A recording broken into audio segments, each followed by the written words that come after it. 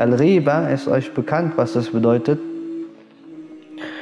Im, äh, die Riba wird im Koran geschmäht und getadelt, so wie äußerst oft in der Sunna des Propheten wasallam. Im Koran sagt Allah Ta'ala, Ja ayyuhalladhina amanu, äh, in der Surat Al-Hujurat,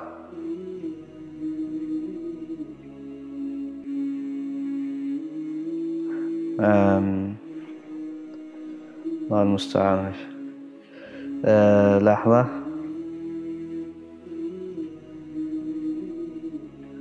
طيب den Anfang des Verses habe ich vergessen aber in der Mitte sagt Allah Ta'ala وَلَا يَغْتَبْ بَعْضُكُمْ بَعْضًا und ihr sollt euch nicht gegenseitig ihr sollt nicht gegenseitig übereinander lästern und dann sagt Allah Ta'ala أيحب أحدكم أن يأكل لحم أخيه ميتا فكرهتموه Möchte jemand von euch oder gefällt es jemandem von euch, den Kadaver seines Bruders zu verspeisen, also das Fleisch seines Bruders zu verspeisen? Was heißt das eigentlich? Viele denken, dass es bedeutet, der muss in der Achira das Fleisch seines Bruders essen. Das ist aber nicht hier gemeint. Hier ist gemeint, hier ist ein Vergleich angestellt worden oder aufgestellt worden. Genauso wie Allah Ta'ala vergleicht also die Abscheulichkeit der Riba mit der natürlichen Abscheulichkeit im Gemüt eines normalen Menschen, die Abscheu, den Kadaver seines Bruders zu verspeisen. Das ist instinktiv etwas, was man verabscheut. Sahih. Also das kann keiner hinnehmen. Er sagt, genauso abscheulich ist die Lästerei. Oder es ist also vielleicht sogar abscheulicher. Das ist also ein Vergleich hier. Eine Form des Tashbih. Der Prophet sallallahu sagt in dem bekannten Hadith, Inna dima'akum wa amwalakum wa a'radakum haramun alaykum.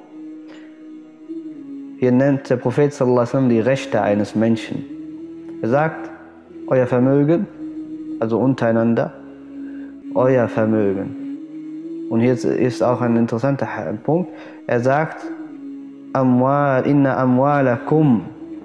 Das ist eine Form der Genitivverbindung, die deutet auf Besitz, individuellen Besitz. Also es gibt den individuellen Besitz im Islam, im Gegensatz zum Kommunismus.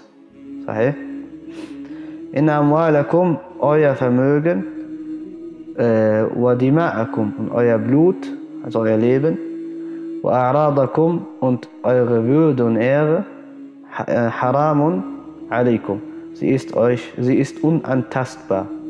Und hier sehen wir, dass der Prophet sallam, materielle Rechte aufzählt, materielle Rechte wie das Vermögen und äh, das Leben, das ist materiell.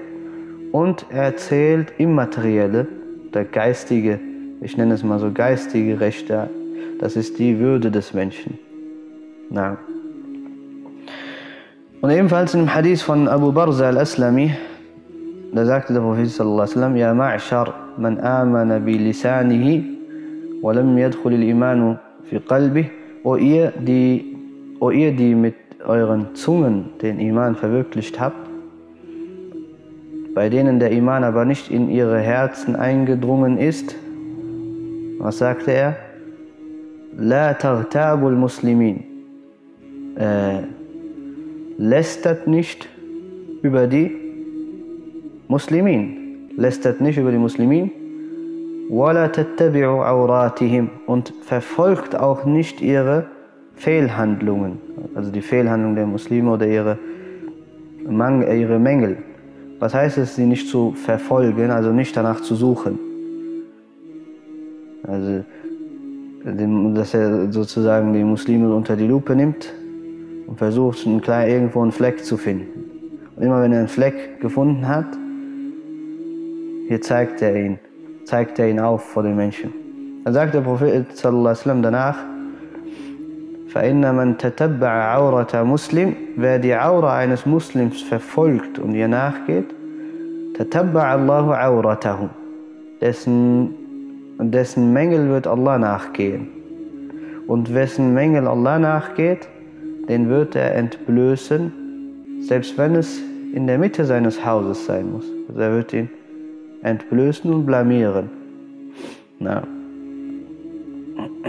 In einem weiteren Hadith, den kennt ihr bestimmt, das ist eines der weit verbreiteten Aussagen über die Riba, die auch oft in den Khutab erwähnt wird. Da sagte der Prophet Iyakum wal Riba, hütet euch vor der Riba, denn die Riba ist schwerwiegender als der Sina. Hadith sahih? Hm? Dieser Hadith ist eine Lüge. Das heißt, das hat der Prophet nicht gesagt. Das ist ein Hadith Maudur, das nennen sie Maudur. Daher sagte Ibn Abi Hatim, Ibn Abi Hatim ist einer der großen Zelle von Hadith-Gelehrten. Er sagte, ich fragte meinen Vater Abu Hatim, Abu Hatim und Abu Zura, beide bekannt, äh, sind, zu, zählen zu den größten Gelehrten des Islam im 2. und 3. Jahrhundert. Er sagte, ich fragte meinen Vater über diesen Hadith und da sagte er, ليس لهذا الحديث أصل كما قال dieser Hadith hat keine Grundlage. also er hat keine Grundlage in den Aussagen des Propheten. Und einer der Überlieferer in diesem Hadith, der heißt Abbad ibn Kathir. Und Abbad ibn Kathir ist ein Lügner. Also er ist bekannt dafür, dass er gelogen hat.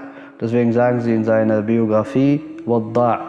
Wadda', was heißt Wadda'? Jemand, der Hadith erfindet. Jemand, der Hadith erfindet. Ja. Von daher dieser Hadith, auch wenn er bekannt ist auf den Zungen der Menschen, hat keine Grundlage. Und daher findest du ihn auch nicht in den Kutub Sitta.